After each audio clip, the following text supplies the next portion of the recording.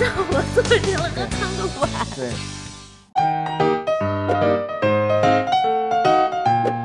嗨，大家好，我是中新社记者赵雅敏。这里呢，就是乌鲁木齐刚刚开馆的丝绸之路陶瓷科技艺术馆。今天呀，我们就一起到这个馆里去看一看陶瓷艺术品是如何诞生的。走吧。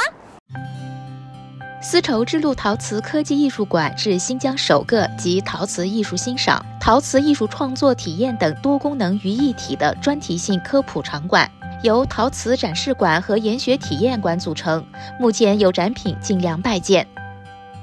这些展品呢，大多的都是来自咱们这个中国的一些陶瓷艺术家，还有咱们新疆本地的这个泥彩塑的艺术家的一些作品。题材呢，有一些中国传统风的元素，还有一些咱们新疆本地的这个特色的一些元素。我们是把这个泥彩塑和咱们这个陶瓷文化相结合，啊，进行了一个展示。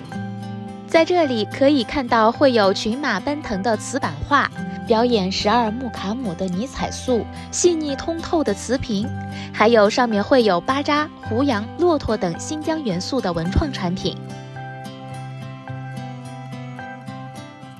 然后这边是我们以囊为题材进行开发的一些文创产品，我们把这个新型的材料软陶泥和这一个泥彩树进行了一个结合，我们只从这个材料上进行了一个创新，然后它的材质呢就是比较轻。啊，然后进行手绘上色啊，这个材料呢就是比较重的啊，包括它的光泽呀，各方面都是不一样的，手感也是不一样的，你可以摸一下，我感受一下，嗯，哦是啊，对，这个囊抓到手里面是那种冰冰凉的，而且也比较沉，对对对，而这个馕呢，抓上之后软乎乎的，还有那种温度的感觉，像刚烤出来的那种感觉，对对对，就是那种感觉。如果不说把它摆在这儿，我真觉得是一个真馕，像不像？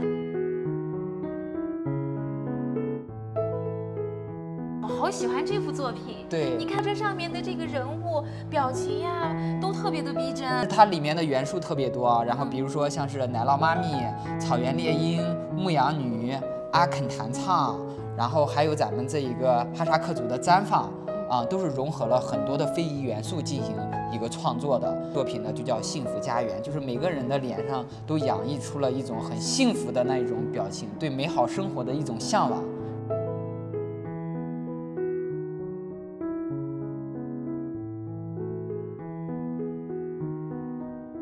这些呢是咱们景德镇的一些陶瓷的工艺美术大师，他们每年就是进行了一个采风的一个创作的一些作品啊，包括像这些丝路的这种大漠戈壁的这种题材的呀，还有这种胡杨精神的这种题材的作品。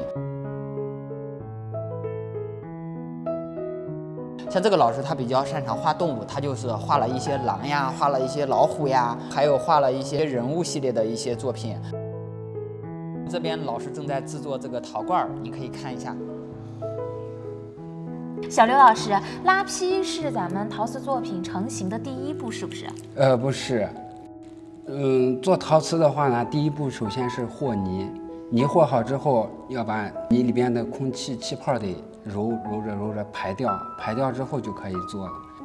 看着是非常的神奇，也感觉特别的有意思。小刘老师，我能尝试一下吗？可以的。哎，对，你看，像这样，它就慢慢的变小了。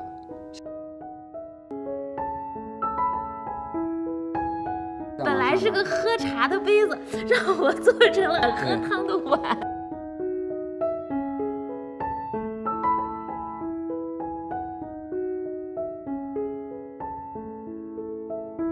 这个呢，就是拉坯成型后的素坯，三天阴干以后呢，就要进行上釉，还要进行第一遍的烧制，之后就可以釉上彩的绘制了。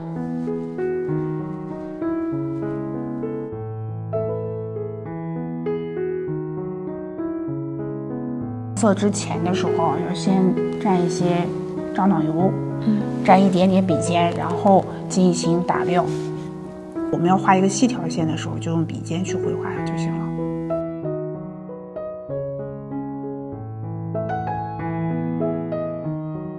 从泥彩塑新原料的创新应用，到创新融合的陶瓷非遗技艺，今天啊，我们在这里呢，不仅是看到了陶瓷的过去，更开启了我们对未来的无限遐想。好了，亲爱的网友，我们今天的陶瓷科技艺术馆之旅就到这里，拜拜。